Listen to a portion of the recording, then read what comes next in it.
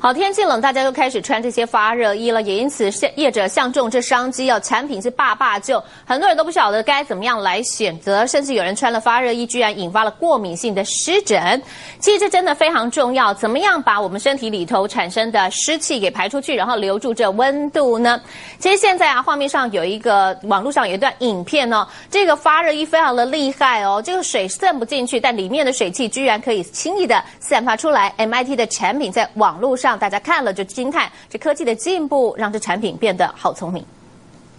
寒冷的冬天，很多人会选择穿上号称能发热的保暖衣。不过市面上多数这样的衣物并没有针对排汗做特别的设计，导致不少人引发湿疹等的皮肤炎症状。基本上温度高哈，闷热都会。那当然不只是发发热衣啊，只要你穿的太闷热的衣服的话，然后又加上流汗，就很容易产生过敏的反应。那我们叫过敏性湿疹。其实要保暖，就是要让人体温度不失温，而且要让湿气可以排出。像是这款的保暖衣，它独特的面料设计，让水汽轻松排出。